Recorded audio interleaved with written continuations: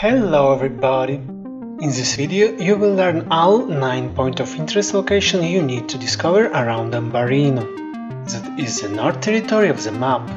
This is a secondary thing to do in the game, but you need to discover all 49 locations if you want to achieve 100% completion of the game. Back to the topic, the first location is northwest from Valentine City. To be precise, on the left side of the letter M of Mount Hagen text in the map.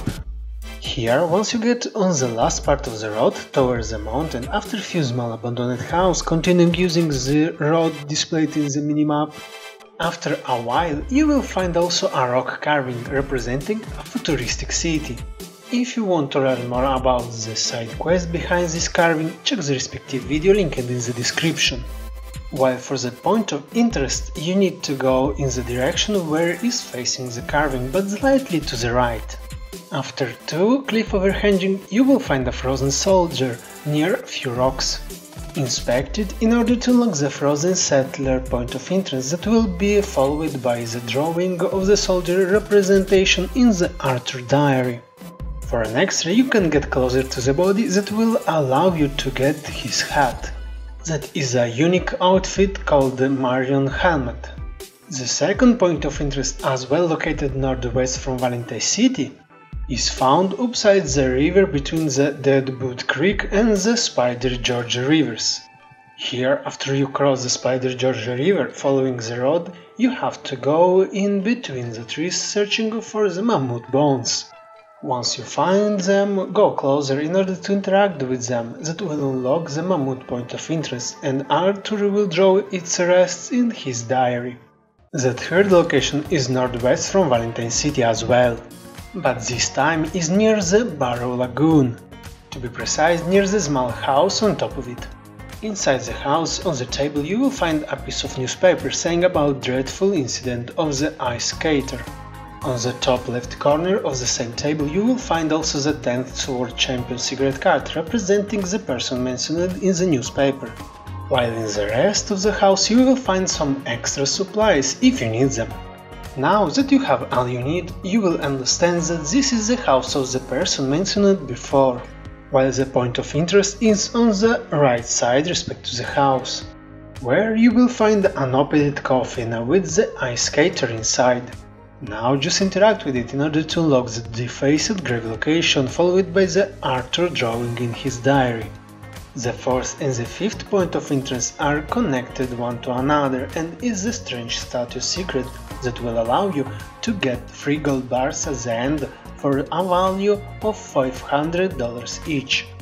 About these two locations you will find another video dedicated to the secret linked in the description while the sixth point of interest is northeast from Valentine City and in the same direction respect to the Bacchus station, where, following the main road, you will find the secondary one leading toward a mountain, at the foot of which you will find a house made of terrain similar to the Hobbit's one from the Lord of the Rings saga. Once you get enough close, you will be able to inspect it in order to unlock the mysterious house point of interest following by the Arthur drawing in his diary the representation with the question who lives in it.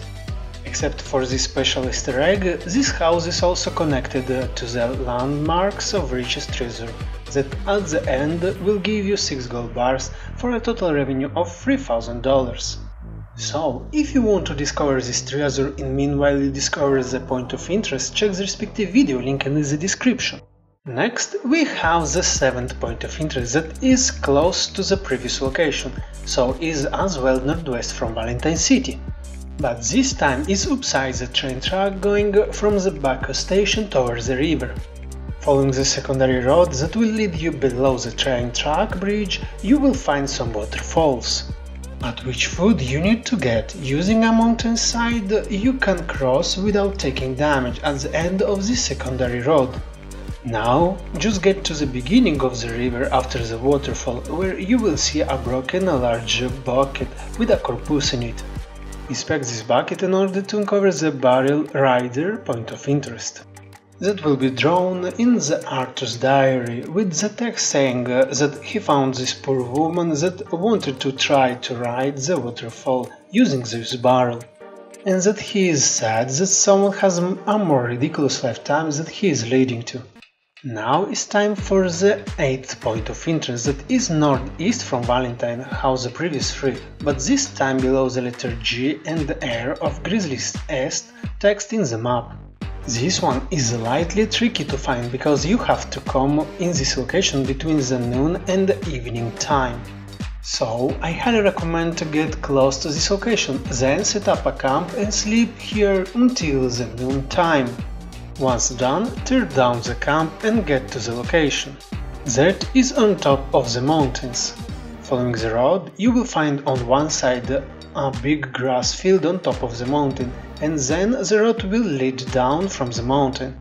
You need to explore this grass field and check the mountain overhanging, where you will find a monk that meditates on the margins of this location.